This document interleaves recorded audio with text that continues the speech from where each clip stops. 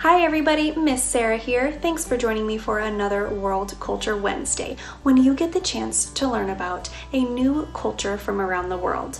Today we are traveling down to Panama. Panama is a country in Central America and it sits in between Costa Rica and Colombia. Panama connects South America to North America, and it also connects the Caribbean Sea to the Pacific Ocean through a man made waterway known as the Panama Canal. Panama has a tropical climate, which means it's home to unique animals and plants. One symbol of Panamanian culture is a mola or molas. These are layered pieces of fabric that often include an image of an animal, surrounded by geometric shapes and patterns. They can be found on the front and back of traditional blouses worn by women. Today, we are going to make our own molas out of colored paper. Let's take a look at the materials we will need and get started. For this activity, you are going to need some colored paper, and if you don't have colored paper, you can always color your own with markers or crayons. You will also need a pair of scissors, some glue or some tape, and a writing tool like a pencil or a pen. Step 1. Draw an animal or other shape onto a piece of colored paper and cut it out save the scraps because we will be using those later.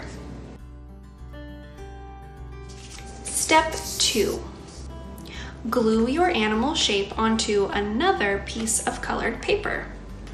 With your drawing tool, trace this shape onto the second piece of paper. Make sure to leave a little bit of space between your original animal shape and the line you are drawing.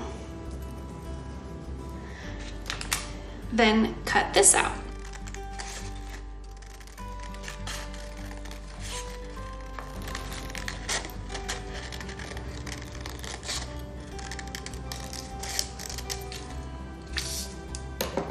Remember to keep the scraps. Now you should have an animal on one color piece of paper with a border of another color. The third step is to glue this onto a final piece of paper.